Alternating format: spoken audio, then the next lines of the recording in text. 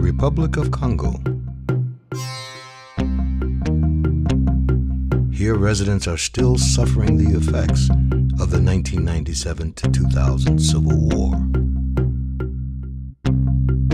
In the midst of war and poverty, some dreams are never deferred. These children, along with their mothers, have been left to fend for themselves. These young women live their lives in a constant state of flux. This is their story.